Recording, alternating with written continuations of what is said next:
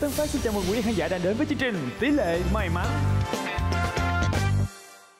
và hai nhân vật quen thuộc đồng hành cùng với Tấn Phát trong chương trình ngày hôm nay đó chính là diễn viên Hoàng Phi và diễn viên Diễm Phương. Ngay bây giờ chúng ta sẽ cùng gặp gỡ lại họ nhé. Xin mời.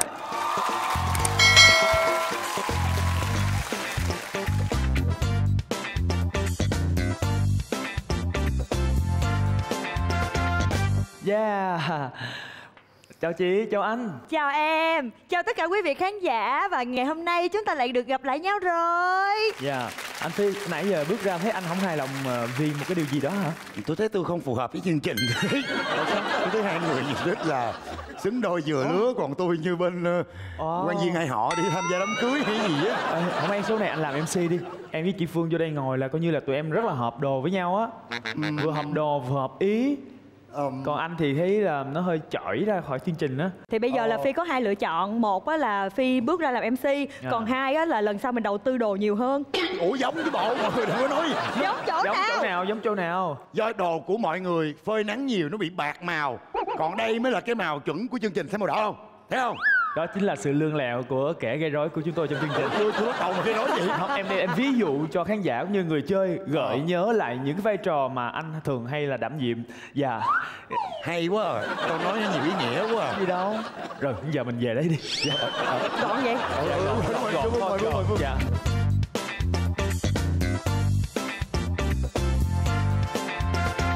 Và bây giờ chúng ta sẽ cùng làm quen với hai đội chơi ngày hôm nay. Xin mời.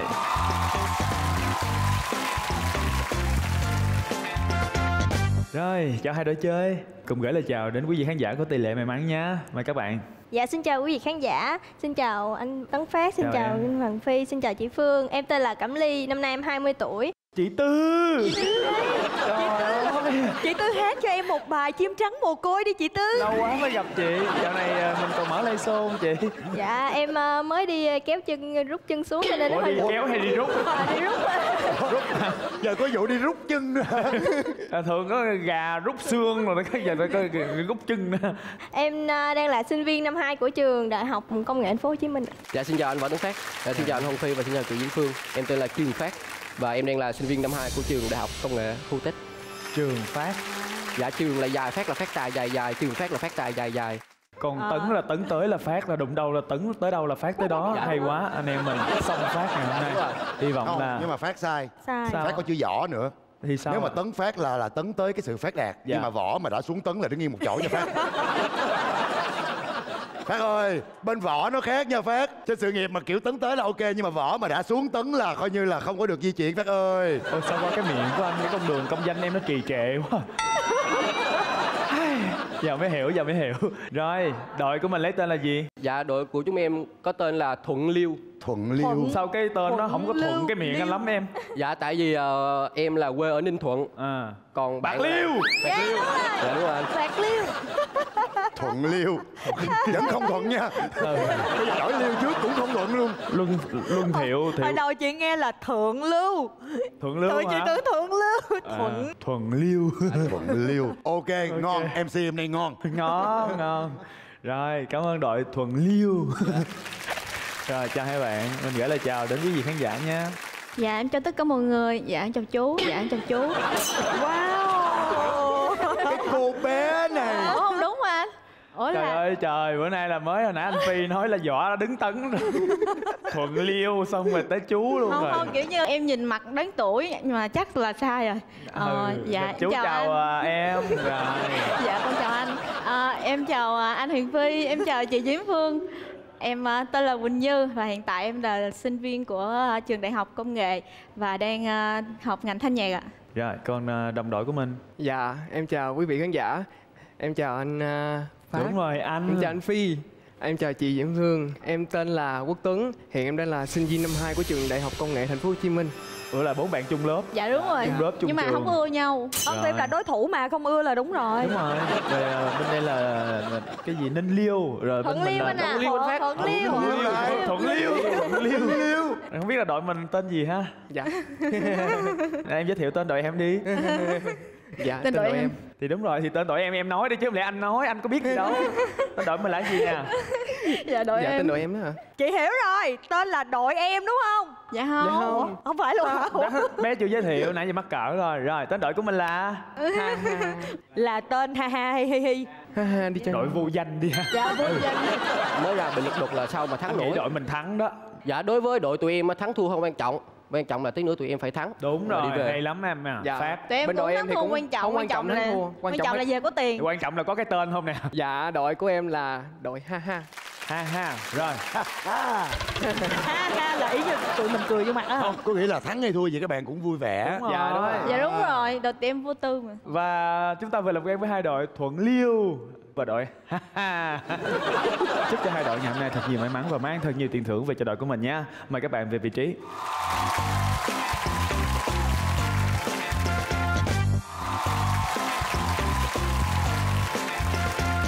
Và bây giờ sẽ là nội dung câu hỏi đầu tiên.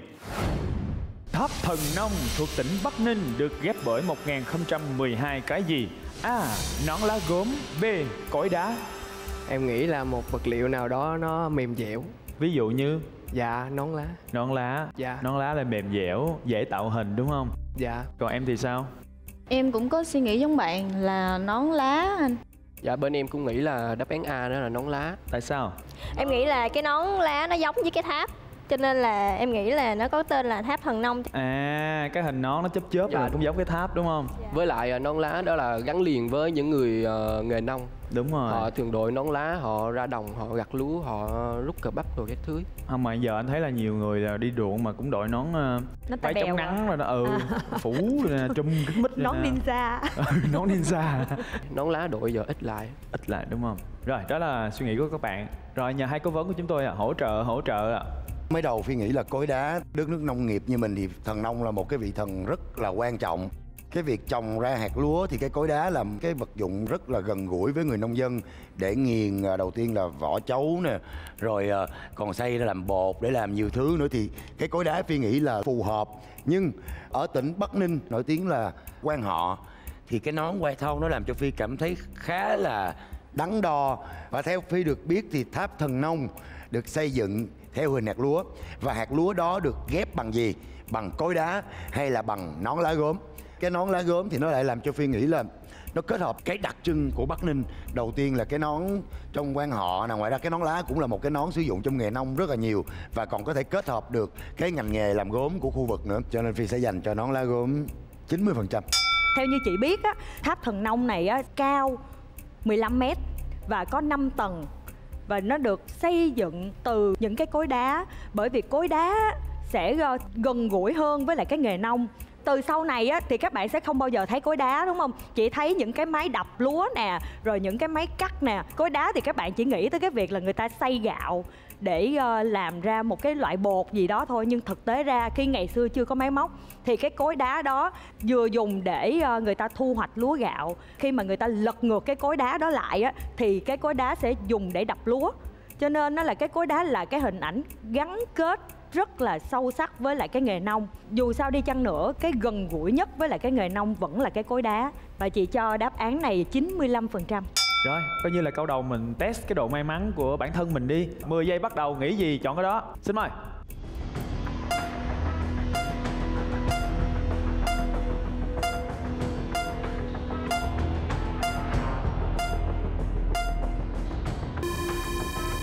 Mười giây đã trôi qua. Xin mời đáp án của hai đội. Cái nón lá gốm thì nó lại làm cho phi nghĩ là nó kết hợp cái đặc trưng của bắc ninh. Cái nón trong quan họ nè ngoài ra cái nón lá cũng là một cái nón sử dụng trong nghề nông rất là nhiều và còn có thể kết hợp được cái ngành nghề làm gốm của khu vực nữa. Từ sau này á, thì các bạn sẽ không bao giờ thấy cối đá đúng không? Cối đá dùng để ờ, người ta thu hoạch lúa gạo. Khi mà người ta lật ngược cái cối đá đó lại á, thì cái cối đá sẽ dùng để đập lúa. Cho nên nó là cái cối đá là cái hình ảnh gắn kết rất là sâu sắc với lại cái nghề nông. Đội ha ha đã chọn đáp án A. Nón lá gốm và đội thuận liêu. Các bạn chọn đáp án B là coi đá. Để xem, đội nào sẽ mang về hai triệu đồng tiền thưởng đầu tiên ở câu hỏi thứ nhất. Xin mời.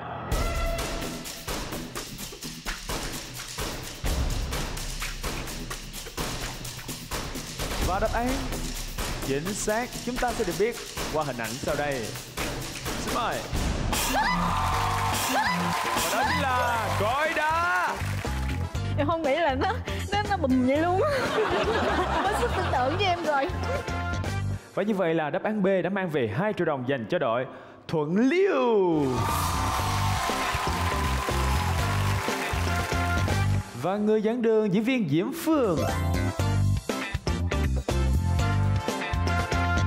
Kẻ cái rối diễn viên Hoàng Phi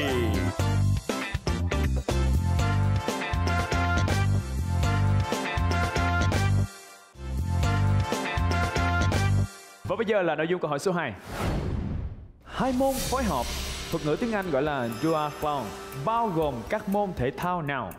A. Chạy bộ, bơi lội. B. Đạp xe, bơi lội. Và C. Chạy bộ và đạp xe.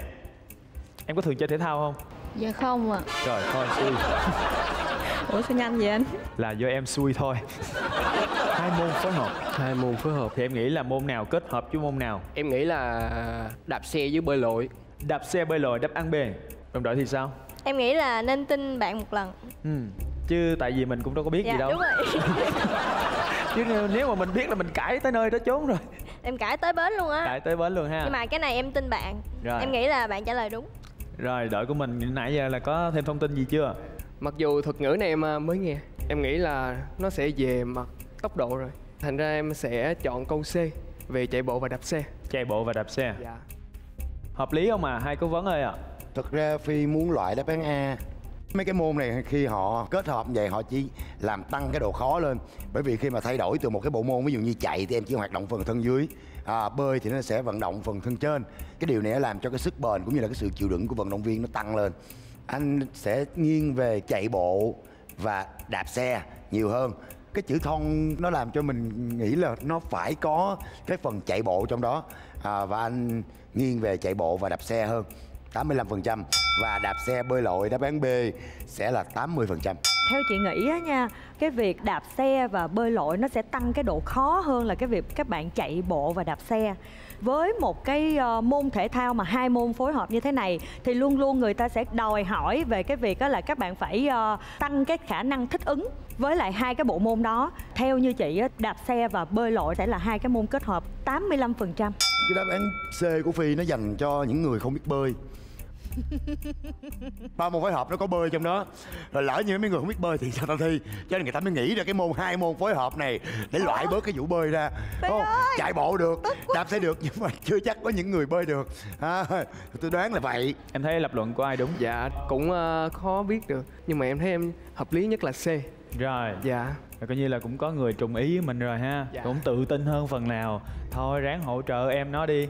10 giây bắt đầu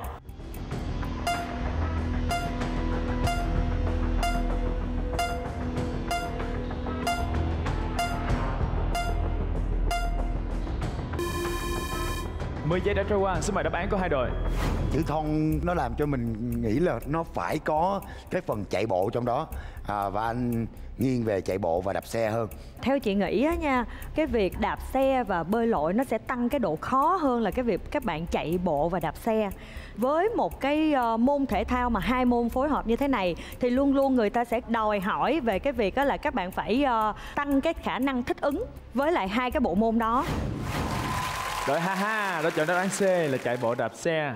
Đội Thuận Liêu, chọn đáp án B là đạp xe và bơi lội. Ngay bây giờ sẽ là kết quả của chúng tôi. Và đáp án chính xác. Chúng ta sẽ được biết sở ít phút giải lao. Xin mời.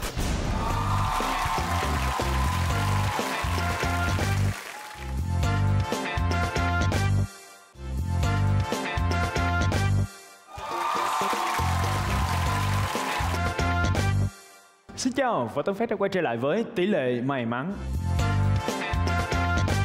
Vừa rồi chúng ta đã có nội dung câu hỏi số 2 như sau. Hai môn phối hợp thuật ngữ tiếng Anh là duathlon, bao gồm các môn thể thao nào?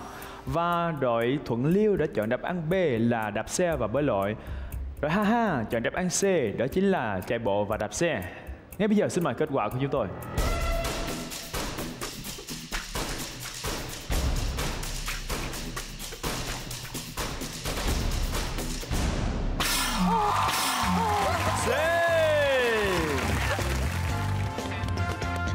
C duathlon hai môn kết hợp đó chính là chạy bộ và đạp xe. Và như vậy là với câu hỏi số 2 này đã mang về 4 triệu đồng tiền thưởng dành cho đội. Ha ha! Nãy giờ thấy ha ha mới bắt đầu có tiếng cười. Đó À, giống như cái tên mình rồi đó không? Dạ. Và người dẫn đường đó chính là diễn viên Hoàng Phi. Kể rồi diễn viên Diễm Phương Và bây giờ là nội dung câu hỏi số 3 Câu hỏi số 3 là một câu hỏi về ca dao tục ngữ và các bạn hãy lưu ý là ca dao tục ngữ của Việt Nam thì rất là phong phú vậy nên sẽ có rất nhiều những bản chép, những dị bản khác nhau. Chúng tôi chỉ chấp nhận đáp án trùng khớp với đáp án chương trình đưa ra mà thôi. Đi từ con thiếu vào chỗ trống Vang thi thử lửa, thử than Chuông, bà chấm, thử tiếng Người ngoan thử, bà chấm A. Vang lời B. Kêu lòng C. Vang lòng Và D. Kêu lời Theo thành ngữ, tục ngữ ca dao dân ca Việt Nam Nhà xuất bản văn học năm 2022 Em nghĩ là vang lời ạ. Em hiểu câu này như thế nào? Chuông thì à, đương nhiên là sẽ ờ, kêu vang rồi. Còn liên quan đến người thì ờ, lời ăn tiếng nói gì đó. Rồi còn em thấy sao? dạ câu b ạ chuông kêu thử tiếng người ngoan thử lòng chuông ờ, kêu dường như là đồng nghĩa với vang nên thành ra người ngoan thử lòng thì em nghĩ sâu hơn một xíu Nội bộ lục đục ha Tự nhiên nghe câu của bạn cái xong mà em đọc lại câu của em thấy nó không vô gì hết. Nhưng mà thấy câu của bạn vô không? Dạ vô. Rồi chọn câu của bạn đi Rồi đội của mình sao đây? Em nghĩ là câu B ạ Tại vì em nghĩ là cái chuông khi mà nó kêu lên thì mình mới thử cái tiếng nó được Người ngoan thử lòng thì em nghĩ là nếu như mà mình ngoan thì mình sẽ ờ, không bị người ta dụ Mình ngoan thì mình không bị người ta dụ Còn mình hư thì sẽ bị người ta dụ Đúng dạ. không? Dạ đúng Dạ đúng Bạn nghĩ giống mình không Em bạn? hỗ trợ đi hỗ trợ em thôi em ờ, em nghĩ giống bạn á Ồ giống luôn hả? tại vì chuông kêu thử tiếng thì quýnh vào nó kêu thì mình mới thử được Ừ giống Thì như nó giờ ờ, đi mua cái chuông dạ đúng rồi Muốn biết cái chuông này Mình nó phải lắc. hay hay nó dở Là mình phải đánh vô, Đánh nó vô. Nghe cái tiếng đó là Dạ. mình biết Ờ, Còn con người thì nó hơi khó Giờ không biết người tốt người xấu Không biết thử bằng cách nào em nghĩ là thử bằng lời. Thử lời. Mình ờ, phải nghe cái lời nói của người ta Ừ. thì cái lòng mình nó sẽ nghĩ như thế nào và mình sẽ ờ, biết được người ta sẽ như thế nào. Thử lời vậy tại sao không chọn đáp án D? Ủa bạn chọn khác mình hả bạn? dạ em chọn khác bạn. Đã. Là đáp án D. Đáp án D. Ủa? Rồi mới nói cái gì kêu vang vang xong giờ đáp án đi đúng rồi em mới vừa thử lòng một người xong. Hết em cũng thử lòng lại anh. Đừng thử anh. Thử là thử hai con người bên kia kìa. Thì á bây giờ mình muốn thử được cái chuông đó nó là chuông tốt hay là không tốt á mình phải nghe cái tiếng vang của nó. Khi mình đánh lên nó kêu là một chuyện nhưng mà cái tiếng vang của cái chuông á nó như thế nào thì mình mới xác định được chuông tốt không? Còn người ngoan á thì là mình phải thử lời là cái lời ăn tiếng nói của người ta. Có biết cách nói chuyện với lại người lớn hay không thì mình mới thử được là cái người đó có phải là người ngoan ngoãn hay hay là một cái người lừa gạt hay là người xấu như hiểu không? Sao cái chữ đó chị nhấn và chị chỉ thẳng về hướng của em vậy? Không chị chị chỉ xấu. À, à em, em xin lỗi đi. Dạ. Em đã xác định được đối tượng. Ủa sao vậy? Xúc động đó thì tụi em á, nên cân nhắc nha theo như chị sẽ là đáp án A 92% cái vang của cái chuông nó chỉ quyết định cái chuông nó hay hay dở thôi. Nó phải kêu trước cái đã. Và qua tới bên người ai cũng có một cái phần tốt trong con người. Như ông bà mình từ ngàn xưa vẫn nói nhân chi sơ tính bổn thiện. Còn cái lời lẽ và cái tiếng chuông vang nó xịn tới mức nào thì người ta sẽ so hai cái đó với nhau. Anh thích cái kêu của chuông còn người ngoan thì phải thử lời còn lòng thì rất khó lòng người khó đoán lắm. Ờ, anh xin chọn là vang thì thử lưỡi thử than chuông kêu thử tiếng người ngoan thử lời. Đáp án D với uh, 90 90 mình 95 đi là thành cây xăng luôn. Cảm giác như tất cả mọi người đều chống lại tôi. Ok tôi cho 99 các bạn cũng thấy là trong cái quá trình giải thích của anh Phi đúng không? Anh Phi luôn luôn nhắc tới cái tiếng vang cái chuông là mình phải nghĩ tới cái tiếng vang của nó rồi cái không thể nào nghĩ so tới sao? tiếng còn cái chuông kêu mà không kêu thì không tính là chuông. Đúng rồi em em thích cái chuông nó kêu hơn. Có bữa cái chuông em nó không kêu em đi quay trễ bị chửi quá trời luôn. Ủa báo thức á. Cái đó là tại em để chế độ rung vậy hả? Không biết không nhớ. Và bây giờ sẽ là 10 giây để các bạn đưa ra đáp án cuối cùng. Xin mời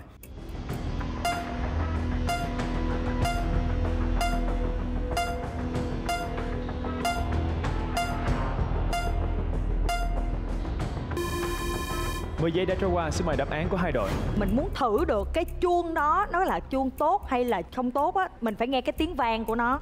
Người ngoan á thì là mình phải thử lời là cái lời ăn tiếng nói của người ta. Cái vang của cái chuông nó chỉ quyết định cái chuông nó hay hay dở thôi. Nó phải kêu trước cái đã.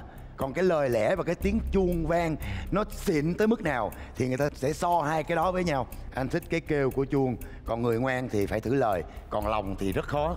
Lòng người khó đoán lắm ha ha, đã chọn đáp án A là vang lời.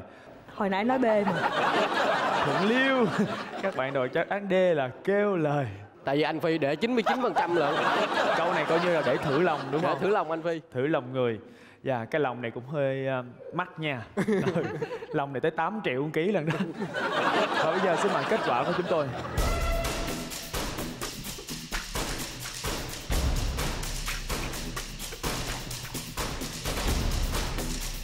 Và đáp án chính xác đó là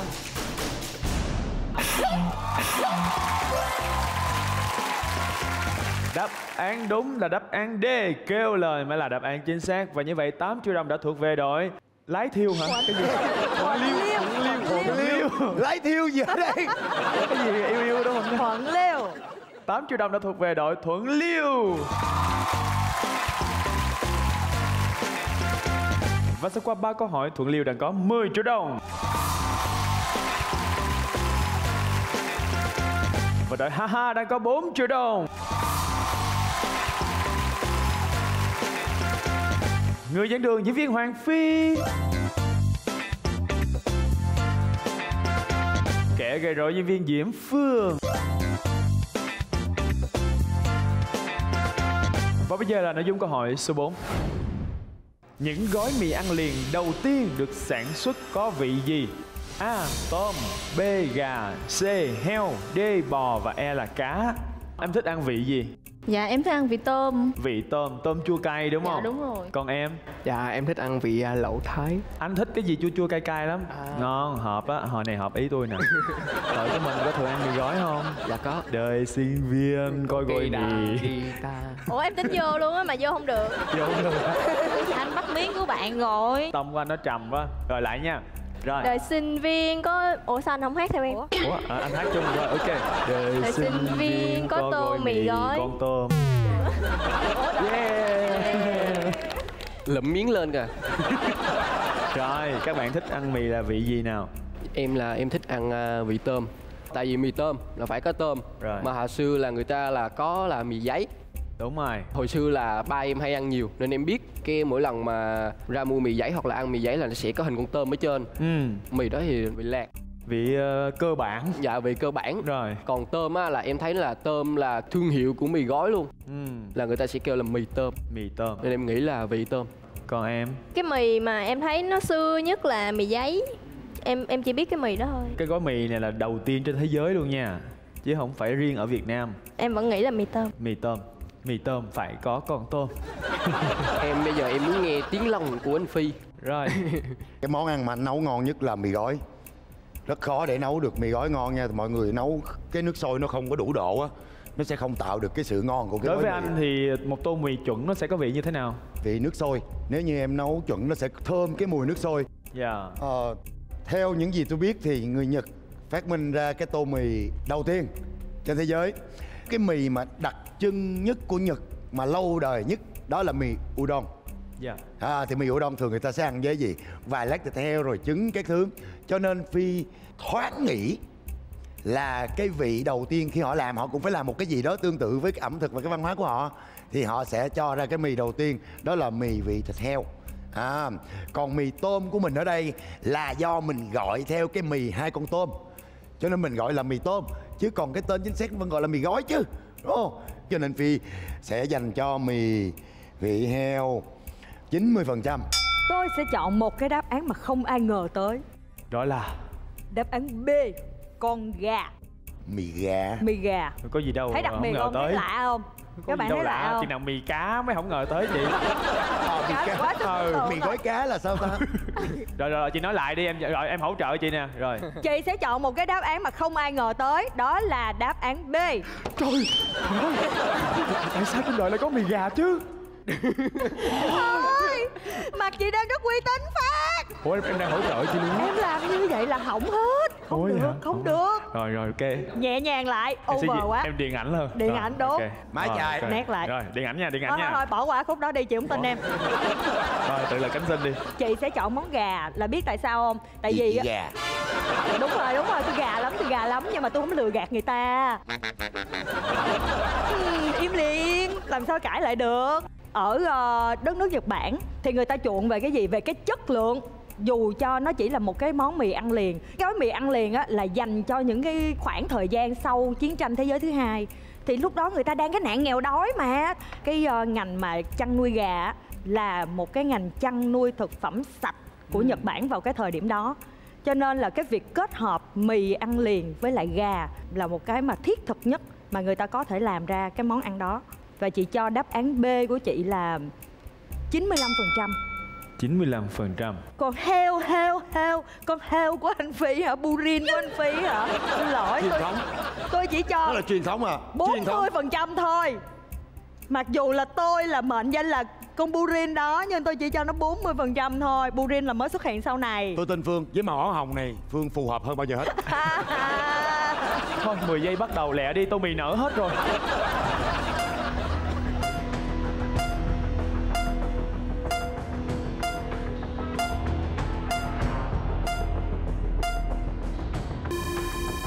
Xin mời đáp án của hai đội.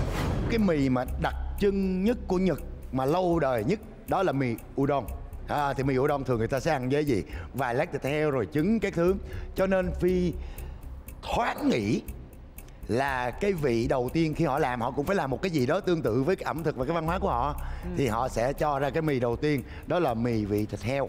Ở đất nước Nhật Bản thì người ta chuộng về cái gì? Về cái chất lượng dù cho nó chỉ là một cái món mì ăn liền cái gói mì ăn liền á là dành cho những cái khoảng thời gian sau chiến tranh thế giới thứ hai. Thì lúc đó người ta đang cái nạn nghèo đói mà cái ờ, ngành mà chăn nuôi gà là một cái ngành chăn nuôi thực phẩm sạch của Nhật Bản vào cái thời điểm đó. Cho nên là cái việc kết hợp mì ăn liền với lại gà là một cái mà thiết thực nhất B và C. Đội ha ha đã chọn đáp án B là gà Đội Thuận Liêu đã chọn đáp án C là heo. Lúc nào cũng cứng nhẹ vậy đó. Sao cái tên Thuận mà đọc nó không có thuận? Và bây giờ sẽ là kết quả của chúng tôi. Xin mời. Và đáp án chính xác. Chúng ta sẽ được biết sau phút giải lao. Xin mời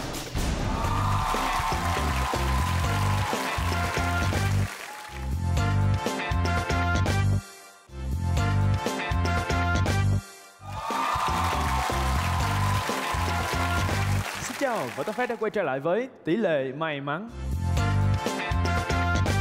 Vừa rồi chúng ta đã có câu hỏi số 4 như sau. Những gói mì ăn liền đầu tiên được sản xuất có vị gì? Và đội Ha Ha chọn đáp án B, đó chính là mì gà. Và đội Thuận Liêu chọn đáp án C, đó chính là mì heo. Ngay bây giờ sẽ là kết quả của chúng tôi.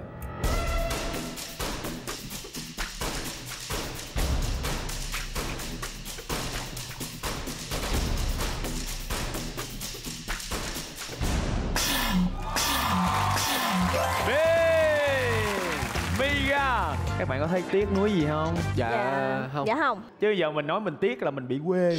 Ừ, tôi biết mà. Và như vậy với đáp án vừa rồi đã mang về 16 triệu đồng dành cho đội. Ha ha! Và sau qua 4 câu hỏi thì đội Ha ha mang về 20 triệu đồng. Thuận Liêu đang có 10 triệu đồng Người dẫn đường diễn viên Diễm Phương Kể cả đó diễn viên Hoàng Phi Và bây giờ là nội dung câu hỏi cuối cùng Năm 2023, kỳ quan thiên nhiên nào được tham quan nhiều nhất thế giới theo công bố của The Travel?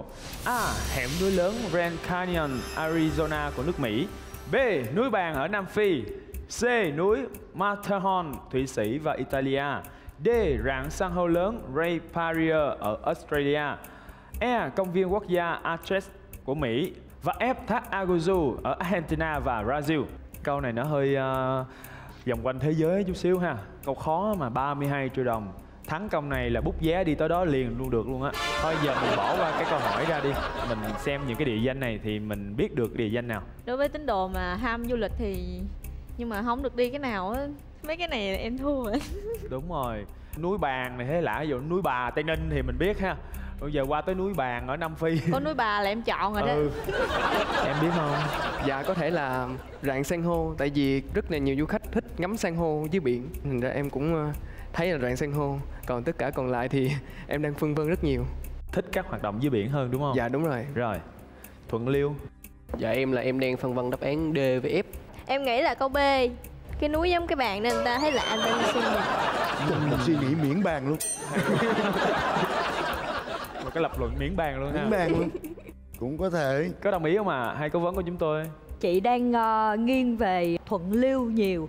Một là đáp án D hai là đáp án F. Hai kỳ quan thiên nhiên này đều ờ, được UNESCO công nhận rất là nhiều năm rồi nhưng mà riêng về thác Iguazu á chị sẽ nghiêng về nhiều hơn là bởi vì nó không chỉ là một cái thác nước bình thường mà đây là kết quả của một vụ um, núi lửa phun trào và khiến cho cái vỏ trái đất của mình bị nứt ra và tạo thành một cái thác những người mà người ta thích tham quan về thiên nhiên về du lịch bụi về những cái gì á mà nó được hình thành một cách tự nhiên không có bàn tay của con người nhúng vào thì người ta sẽ đến và tham quan cái thác Iguazu này rất là nhiều. Và chị cho đáp án F 95% anh phi thấy sao? Đầu tiên chúng ta sẽ đến với A và E. Trong hai cái đáp án A và E này phi sẽ loại đáp án E. Vì nếu mà về chung một quốc gia thì cái hẻm núi có lợi thế hơn về mặt danh tiếng nè, cái sự kỳ vĩ để có thể gọi là kỳ quan thiên nhiên. Cái hệ thực vật của nó đa dạng hơn. Cái hẻm núi đó là cái màu sắc của nó là màu đỏ. Ở Việt Nam mình, họ không quan trọng về chuyện địa lý, địa chất khu vực đó. Nhưng mà những người mỹ thì họ rất quan tâm tới cái điều đó. Và đó là lý do đây là một trong những cái nơi được người mỹ chọn để du lịch. Chứ đừng nói chi là người khách nước ngoài. Nhưng vào mỗi thời điểm trong ngày toàn khu vực sẽ đổi màu theo màu của nắng và nó tạo ra những cái cảnh quan cực kỳ hùng vĩ và hùng vĩ tới mức không phải ai đến đó nhiều lần cũng có thể cảm nhận được hẻm núi Ca Giòn này nó mang nhiều ý nghĩa lịch sử địa chất cho toàn thế giới chứ không phải chỉ là khu vực Nam Mỹ, châu Mỹ. Phi sẽ dành cho hẻm núi này 95%. và như vậy là chúng ta cũng đã có đáp án mà hai cố vấn đang nghiêng về các bạn thấy sao nói chung là em cũng phân vân nhiều á. Nghe đáp án nào cũng thuyết phục. Là dịch vụ này nó bị mập mờ quá. Ủa Phát ơi, tụi tôi đang tư vấn kiến thức mà Phát đẩy tôi qua ngành nào vậy? Mập mờ quá. Trời ơi, tụi tôi là những người có học thức mà. Tư vấn nó không rõ ràng bây giờ khách bây giờ khách mập mờ thông tin quá kìa. Ví dụ mình tư vấn mua một cái lô đất hay là một cái căn chung cư gì nó cũng phải giấy pháp pháp lý rõ ràng chứ đúng không? Giấy phép. Giấy pháp là giấy phép và pháp lý sao mình thấy sao? Dạ em là em ờ, theo chị Phương nhiều hơn. Theo chị Phương. Em Tại theo vì- chị Phương đi tới là thác Iguazu luôn. Dạ. Nếu vậy thì anh xin được bổ sung cái hẻm núi này nó được tạo ra bởi một cái dòng sông á. Dòng sông đó nó trôi qua cái hẻm núi mà nó khoét từ từ và nó tạo thành hai cái tầng địa chất lộ ra để mọi người có thể tới coi nó vẫn có nước ở trong đó đó em. nhưng nó không dữ dội bằng cái thác anh à. Rồi 10 giây dành cho hai đội đưa ra đáp án cuối cùng. Xin mời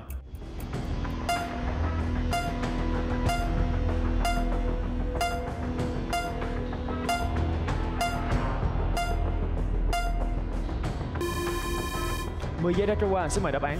Riêng về thác Iguazu á chị sẽ nghiêng về nhiều hơn là bởi vì nó không chỉ là một cái thác nước bình thường mà đây là kết quả của một vụ núi lửa phun trào và khiến cho cái vỏ trái đất của mình bị nứt ra và tạo thành một cái thác.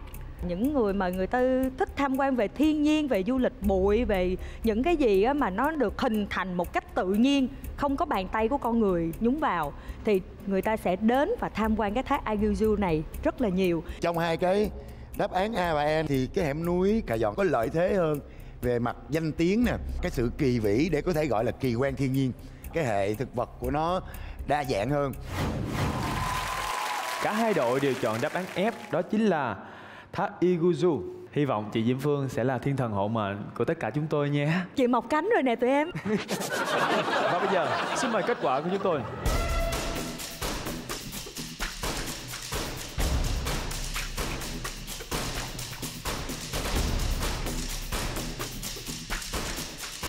Và đáp án chính xác là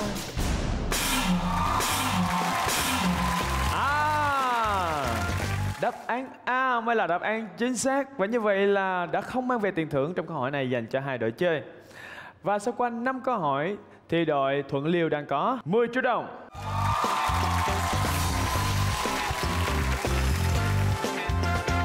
Ha ha, 20 triệu đồng.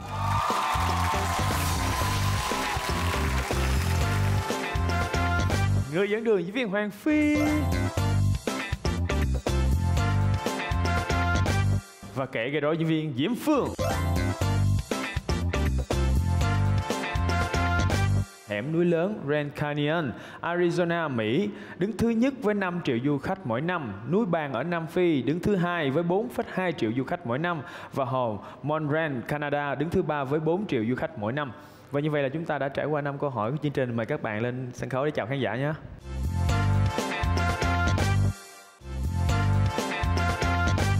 Trải qua các câu hỏi của chương trình thì à, các bạn thấy như thế nào? Có quá khó so với khả năng của mình không? Em cần những câu hỏi khó hơn nữa Em cần những câu Bây hỏi giờ khó tụi em chỉ giấu à, tài năng thôi. À, Tụi em chưa bộc lộ nó hết được. Dạ. tôi thấy cái nét giả tạo trên gương mặt. Ôi ôi trời ơi đúng là chung trường. Chung lớp nữa. Chung lớp luôn hả? Em lo quá sau chương trình này không biết các bạn còn học chung với nhau nữa hay không. Ờ, thế bắt đầu là chị em sức mẻ rồi. Em thì sao? Dạ em thấy à, câu hỏi dễ quá. Dễ quá Ờ, hy vọng là chúng ta sẽ còn nhiều số phát sóng tiếp theo thì các bạn sẽ quay trở lại chinh phục những cái bức câu hỏi cao hơn nữa ha. Chúng tôi sẽ cố gắng đó là thu thập thật nhiều câu hỏi xịn hơn. Em, em có một ý kiến. Cái gì em? Là em mong à, đội bên kia nên về học thêm. À, cái chơi mà có 10 triệu. Dạ. Bên đây ta 20 triệu lận. Dạ cái này mình nhường.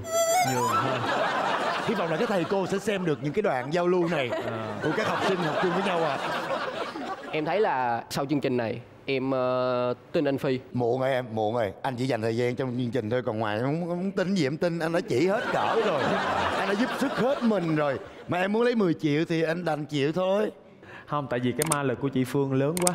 Cái cách mà chị dẫn dắt chúng ta đó trời ơi chị dắt tụi em ra tới rừng cao su rồi bỏ đó vậy. Chị dắt em ra thác chị để em trôi dắt bốn đứa nhỏ ra thác rồi bỏ và như vậy là chúng ta đã trải qua năm câu hỏi của chương trình. Xin được cảm ơn quý vị khán giả cũng như là các người chơi đã đến đây để dành thời gian để chúng ta có thêm rất là nhiều kiến thức và bên cạnh đó còn có thêm rất là nhiều tiếng cười. Cảm ơn quý vị khán giả và đặc biệt là cảm ơn trang tin sabit vn đã bảo trợ truyền thông cho chương trình. Còn bây giờ tất cả chúng tôi xin chào và hẹn gặp lại!